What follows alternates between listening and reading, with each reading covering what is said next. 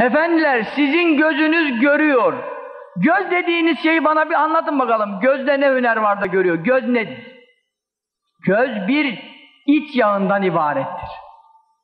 O duyan kulağınız nedir bir tarif edin bakalım. Bir kemikten ibarettir. O konuşan dilinizi söyleyin bakalım nedir de konuşuyor? Bir etten ibarettir. Öyle değil mi?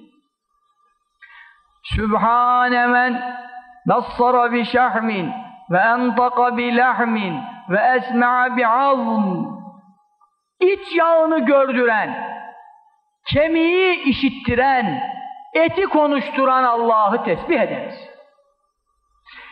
Dil dediğin şey kasaplarda satılıyor.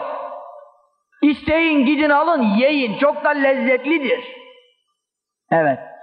Dil çok lezzetli bir eti var. Gidin yiyin. Nasıl konuşuyorum? Şu göz iç yağı ya, iç yağı. Bu nasıl görüyor? Bu kemik nasıl duyuyor? Göz mü görüyor, Allah mı gördürüyor? Göz görse, körlerin badem gibi gözü var. Niye görmüyor? Kulak duyuyor da sağırların kepçe kadar kulağı var. Niye duymuyor? Dil konuşuyor da dilsizlerin dili mi yok? Dilsizlerin kürek kadar dili var. Niye konuşmuyor? Gördüren, konuşturan, işittiren Allahu Teala'dır.